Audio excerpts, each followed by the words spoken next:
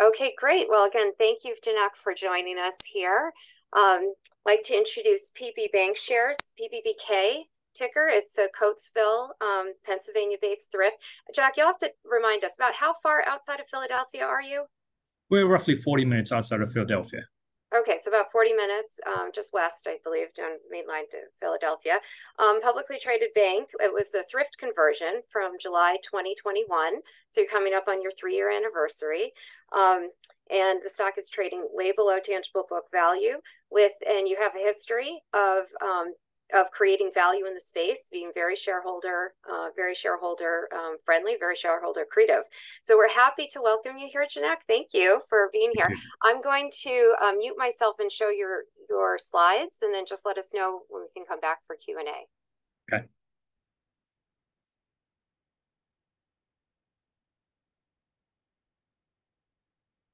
So if we start at page four, and for those of you who are new and are not familiar with PB Bankshares. page four will show you a history. The bank was actually founded in 1919. So it's been around for 104 years. And I got to the company in September, October of 2019.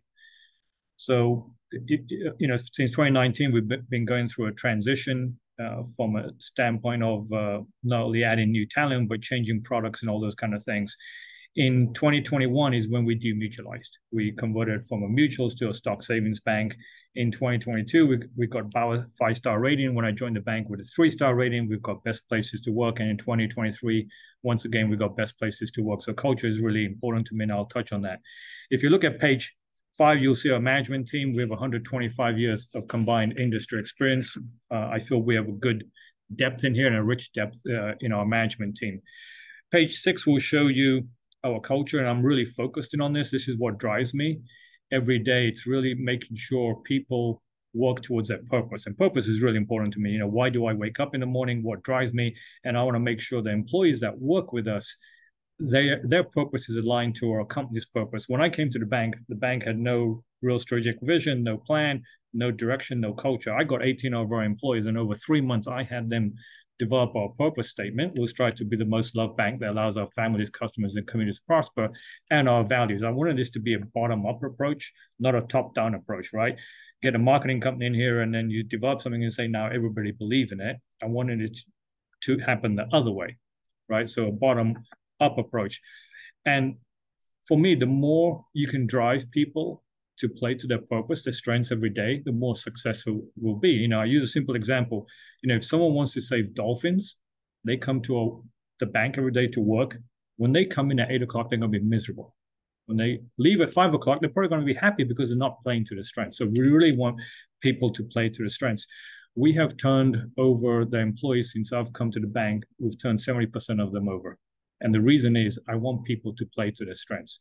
You know, the, the more they play to their strengths, the more successful they'll be. We've implemented a new healthcare program, a new 401k program. When I came to the bank, uh, uh, participation in the 401k program was 60% with a national provider, nothing wrong with them. We've gone to a local provider who, with whom we have a relationship from a profit sharing. We now have 100% participation in our 401k program. Once again, it engages the employee into what we're doing every day. If you look at page seven, you'll see our relationship-based team. We have something called white glove service. And on page eight, I'll expand on that white glove service uh, and page eight and page nine. But if you look at page eight, you'll see our core operating markets, right? On the right-hand side, our traditional branches, Coatesville, Oxford, uh, Georgetown, and New Holland. And then we have loan production offices in Lancaster and one in Harrisburg. This is our traditional marketplace. This is where we compete. We go a little bit more outside of this circle when we get referrals, but this is our core operating market, these 10 markets. If you take Chester County, Chester County is one of the wealthiest uh, counties in Pennsylvania.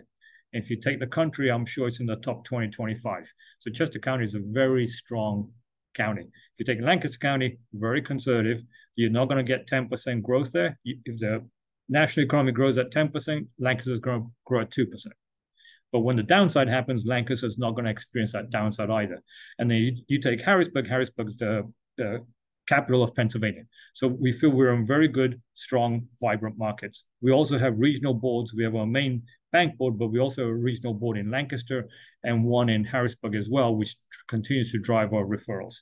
If you look at page nine, just to go into our business model and how we execute, we have something called white glove service. If you take our size, we tell I tell customers, we can't be everything to everyone, right? We don't do car loans, we don't do student loans, we don't do your traditional home equity loans, right? We don't do residential mortgages, we don't do credit cards. What we do is commercial. 95% of our business is commercial, and that's what we stick to. And what we do is something called white glove service. We tell customers, we come to you, you do not come to us. We gain our cars and we drive to our customers. To give you two quick examples, we had a, a prospect we are developing over nine months, owns 30 different Pizza Hut, Pizza Hut locations. And they made the decision, yep, we're going to switch to you from a large regional player to you, right? A local community player. Our custom, our employee went to their office, onboarded 30 of those accounts, onboarded every ACH, all those kind of things within three days, right? So we tell customers, we come to you with another customer who had 108 online payments within their accounts. They were going through a merger, decided to come to us. Our employee went to their office, onboarded everything. So we tell customers, you don't lift a finger, whether you got five bill pays, five ACHs, or you got 108, we take care of everything. We went through new branding, new products. If you take our cash management, we can compete with the big boys. We've got 90% of what they have. We don't have the SWIFT, we don't have international wires at, at, at the desktop, right? All those kind of things. But we have what local customers want. One area where we've been successful is we've actually caught, uh, come across some gas stations where they haven't had a borrowing need, but they have a deposit need. So we've uh, contracted with Shields. Customer has a contract directly with Shields. We actually put a safe in their location, is bolted to the ground, right? All the cash goes in there, reaches a certain, certain limit. Shields pick it up. We have a virtual vault we've created. Uh, we have eight of these machines out there. We pay nothing on their deposits right? So it's been a great opportunity for us to generate more and more deposits. Uh, if you look at our top 50 borrowers, 96% are new to the bank in the last three years. You look at our top 100 deposit customers, 94% are new to the bank in the last three years. And to just touch on the deposit uh, piece, if you take our deposits, our deposits are changing, and they're changing in terms of customer profile. The mix has changed a little bit, but it's more the customer profile that's changing.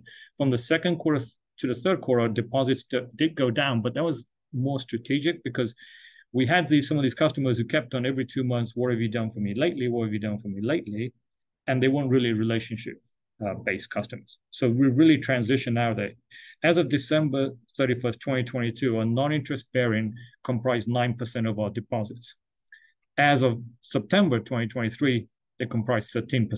So you can see our focus more on that commercial. It's, it's coming through. Interest-bearing checking went from 27% to 26, pretty stable. Money market, where we've seen the fluctuation, it's gone down from 18% to 16%, and savings is the biggest one, down from 8% to 6%. But once again, we're more focused on that non-interest bearing. CDs, pretty, relatively the same, 38%, 39%. Page 10 will show you our asset growth, loan growth, deposit growth. With our goal is to keep uh, asset growth uh, at least, you know, we, have been successful at 23% compound annual growth rate. Uh, 20, uh, 24 was going to be more challenging. For our loan growth and deposit growth, we've been trying to keep that as even as possible. Obviously, in the third quarter, we did have that strategic move to get rid of some deposits. We just we didn't feel were uh, enhancing our franchise value. If you look at page 11, you'll see our loan composition. And you'll see the CRE composition, the blue pie, has continued to increase, right? It's gone from 103 million to 159. At the same time, the CNI owner occupied has gone up from 42 to 74 million. We've been shrinking the green bar, uh, green pie, which is basically the, the pure residential uh, portfolio. We don't do residential mortgages. we have been out of that since um, beginning of 2020. To give you a little more color on this uh, CRE, if you go to page 12, you'll see we basically have stress tests uh, our portfolio. We do every quarter on the CRE side. Any loan above 250,000, we st stress test. So we've stress tested 73% of our portfolio. Uh, average loan to value is uh, 63%, debt coverage ratio 138, uh, and that's without guarantor or sponsor support. Office exposure, I know that's a big hot item. We have five loans in that segment, 9.5 million, but they're all medical space. Four of them are to dentist, and one is to a lease where we have with Penn State Hershey. So we don't have the traditional office exposure, office space. It's more medical related. Average loan to value 73%, debt coverage ratio 1.4 times. Hospitality, big topic as well. We have five loans, 17.4 million, average loan to value 56%, debt coverage ratio two times without guarantor and sponsor support. Once again, these are flag properties, people we know, people that have been in our community for a long time, and we've done business with them, and we have a full relationship. Page 13 shows our top five priorities. These have not changed from beginning of last year. So we've been focused on these since 2022. Deposit growth, loan growth, cash management, and not-for-profit, attract talent, and continue to maintain our credit quality. Page 14, we've, you know, I've done, if you take these presentations, we follow them with the SEC, right? But I've done individually with people in our communities, uh, customers, CNR, uh, COIs, potential customers, 589 of these this year. And I use this chart because this chart is very telling, right? When you sit down and explain to them. The left-hand side has not been updated, and I can't get new data on it since December of 2022. But we talk about our uninsured deposits. Our uninsured deposits are 12.4%. You look at the average industry, it's 43%. So we feel very comfortable from a standpoint of where uninsured deposits are. If you go to page 15, we have uh, availability to meet those uninsured deposits with liquidity sources at 434%. So that's really helped us get more and more deposits. And that's where we're changing the deposit mix profile from a customer standpoint. Um, and not necessarily, we're not seeing that huge fluctuation coming our CDs going into checking or anything like that. Page 16, 17 talks about cash management. We have ICS. Um, I think right now we have eight customers on ICS. When SVB collapse happened, we did open ICS to all our customers. We, we had two at that time on ICS. We now have eight. So we've had customers who've said they're very comfortable, they don't need it. If you go to page 20, you'll see our nine-month results there. You'll see our pre-tax income uh, continues to increase quarter after quarter. Non-accrual loans continue to go down. When I joined in 2019, you can see where the non-accrual loans were 182. or delinquency at the beginning of that year was 7.99%. We continue to drive non-accrual loans down. The bottom left chart shows you really our efficiency. When I joined, we were at 5.42 million assets per FTE. We're now at 11.3 million. We continue to become more and more efficient.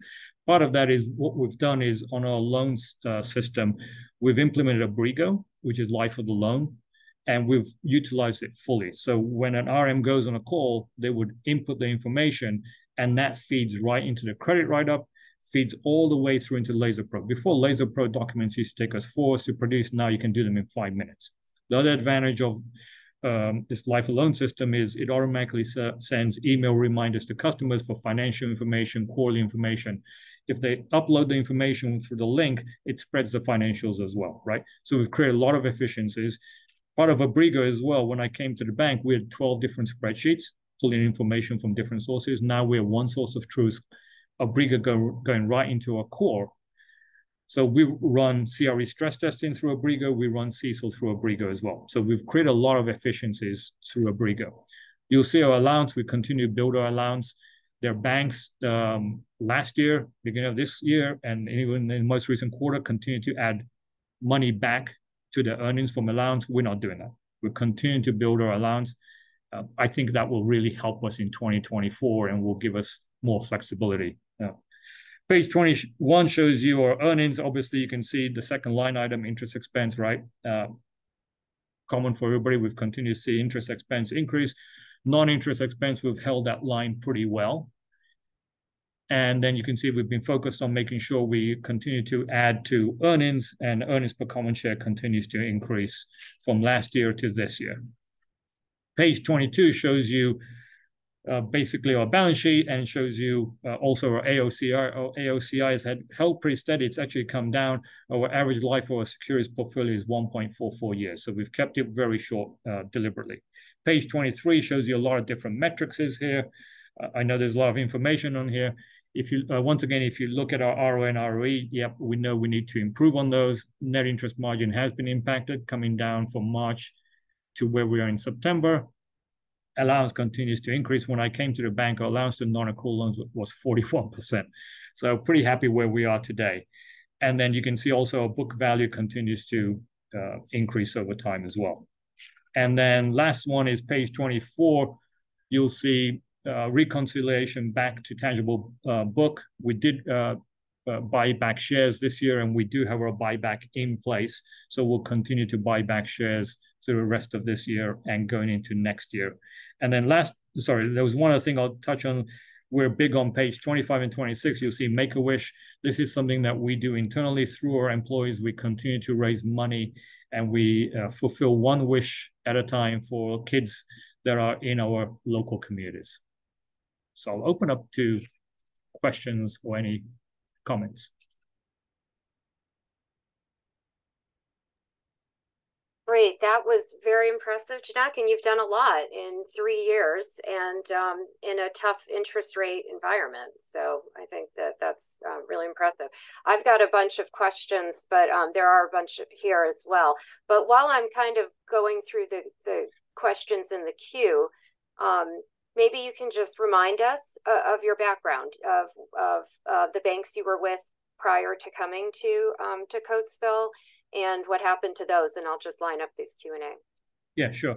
So originally started Fulton, went to Harris Savings Bank, which was a thrift. Uh, that converted into Waypoint. I was not part of the larger management team when it was sold to um, Sovereign Bank, but I was one of the three founders when we started Graystone Bank. And then we started Graystone Bank in 2005. We grew it um, organically and then through acquisition. And then in 2011, 2012, it was sold to Susquehanna Bank. And then I went down to Florida, was part of Sunshine Bank. We, when I, th I think when we got there was around 200 million assets. Uh, did a couple of acquisitions, organic growth. Uh, it was roughly a billion dollars, and then that was sold to CenterState Bank. Okay, all right, good. Yeah, so as I said, a history. So, um, so here we'll ask a, a one of the questions, Q. If uh, you know, you had you came with big plans for transitions, you know, to transition um, this kind of sleepy thrift into uh, something with some real franchise value um, in, in your footprint. Where, what inning uh, are you in that process, would you say? You're using a baseball term, right? uh, um, I'm not a big baseball guy, so you, ah, have, to, I know. you have to help me. well, how, I mean, how how far uh, is there a um, cricket? Along, uh, you know, cricket, yeah, cricket or football. Um, so in terms of creating franchise value, you know, from a foundational standpoint, I think we've done everything we need to, right? And it's just now executing, uh, and we've been executing from a sales standpoint, but just it's more the sales side. Um, so from a foundation st standpoint, we have everything in place, right? Abrigo was a big lift for us. Abrigo has taken us 18 months, but we are definitely seeing all the benefits of a Abrigo, right? We have 36 employees, right? I don't think we need to add anymore. We can continue to build this, right, to a certain level before we need to add again, right? So I, I feel very comfortable at our size right now and the FTE composition. There are a couple of things that are coming up for us next year. In September of next year, our core contract is coming up for renewal. At the same time, our IT infrastructure co contract is coming up for renewal. Our IT um, uh, contract actually cost cost us more than our core, right? So um, there will be some added expense in the first and second quarter of next year for our IT, and then in the fourth quarter we are going to move transition away from this contract, and we, the full savings will come through in 2025 from the IT contract. So, so the contract uh, renewal is a good thing. It's not yes. going to, and so it's going to and and um, what kind of term is that contract for? About how many years? The I sorry, the IT contract expires in uh, September of next year. So for, we're going to move. Renew it for about how many years? We're not going to renew it. We're, we're oh, moving okay. away from it completely. Okay. And uh, we have no control over our IT infrastructure right now. So we're going to move to a, a, a uh, environment where we have more control, more flexibility, right? And we're not tied into a contract. Good because those can be problematic as you know um, yeah. when you're evaluating options so that's good um, just speaking about expenses and, and, you've been getting good loan growth so i want to ask you about that as well but your expense base uh, hasn't it been going down um, yeah your, your expenses were down sequentially again um, some somewhat heroic in a interest and inflationary um, environment um, i know it's not easy to do know so thank you. So um, yeah, can you talk about any, you, you just mentioned um, this potential for cost reduction, but do you see overall expenses? Can you hold it and if, if not go down, even maintaining your, your pace of growth? Yeah, so you know the ma mantra I've always been using is, uh, you know, our revenues have to grow twice the pace of expenses, right? And that's the man mantra I've been using. Um, you know, you throw in deposit costs, it's kind of thrown us this year. Uh, otherwise, we were very successful on, on that part. As far as expenses, I don't see any large expenses coming through. We're we're lean and mean. Uh, if you look at my office right now, I don't have an office. I work in a cube, right? I don't have a fancy table, nothing, right? I'm actually boring the IT guy's office, so it's quieter. Um, so we're lean and mean. Uh, we we we don't have a lot of fat here. So from an expense standpoint, I think we've controlled it very well. Where we see the opportunities next year is definitely with uh, our core contract and then with our IT contract.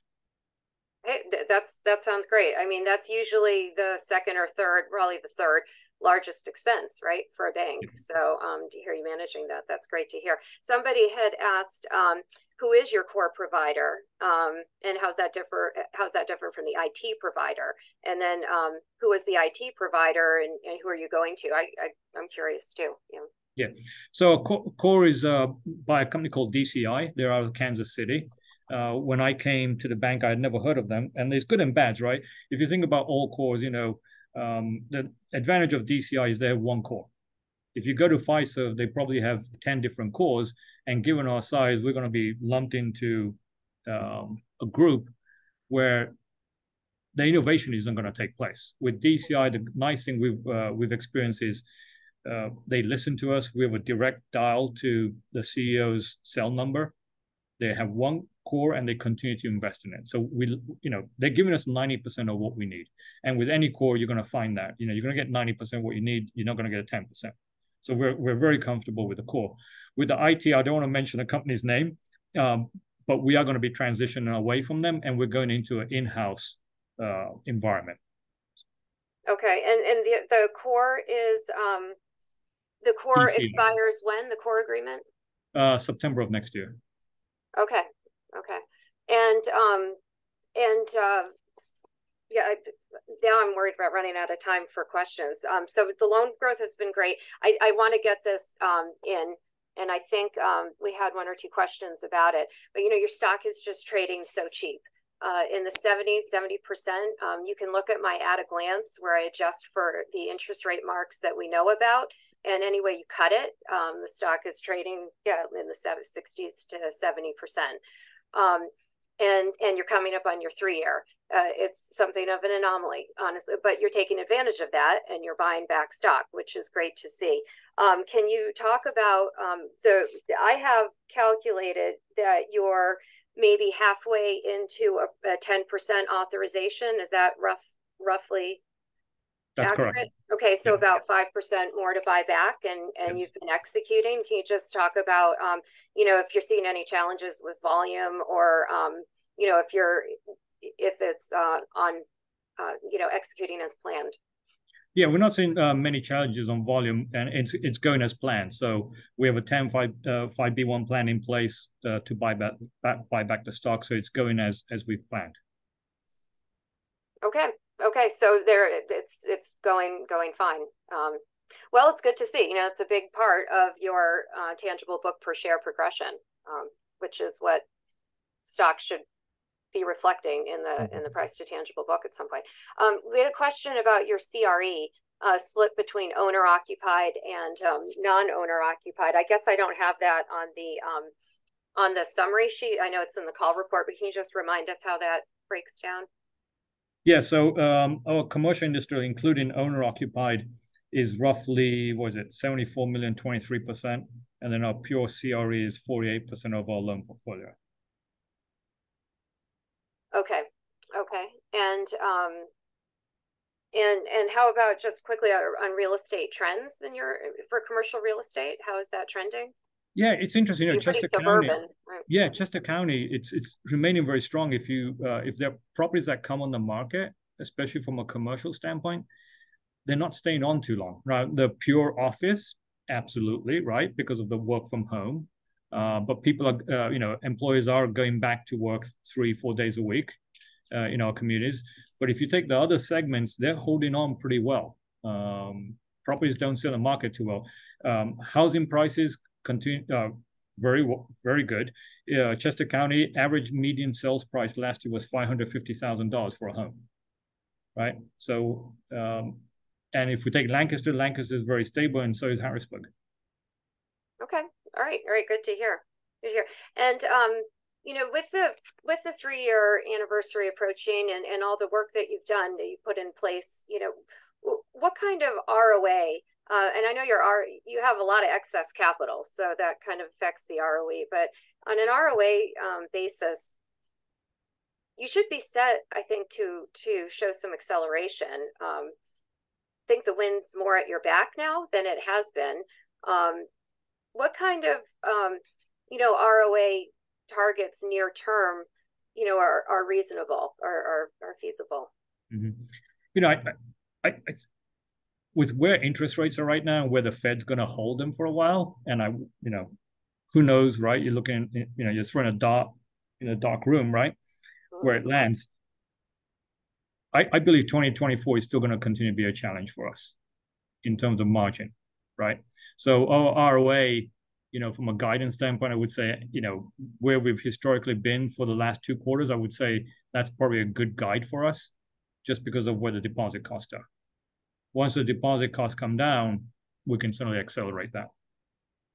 So can we talk about that, the deposit pricing? Mm-hmm. Can you talk about the the um, you know the pricing competition? You know what the pricing trends have been like uh, in your market? Yeah, yeah. So that's where you know we've been focused on non-interest bearing, and you know as I mentioned, they've gone up from nine percent to thirteen percent of our total deposits. You know, uh, I I was talking to a, a client yesterday, and they got a six percent deposit from Wells Fargo, right on a money market account, six percent. Money market. So I know people are talking about the big boys on the big boys are absolutely driving these costs up, right? Oh. Um, so that's where some deposits we are letting them run off because it's really what have you done for me yesterday, and we're more focused on these long term where you know they appreciate our white glove service and that's what's going to drive our deposit cost down. So we do feel, yes, we're going to continue to see the pressure in the fourth quarter. The pressure I, right now, if rates stay where they are, the pressure will come down in the first and second quarter, but they, it will be elevated. And then the second half of next year, we'll see uh, better opportunities. Wow. Okay. Yeah. How long ago? I'm just curious. How long? How many weeks ago was that six percent competitor rate? Uh, it was on Monday. So, okay, so recent. All right. Um, and the the loan growth again, you're getting nice loan growth.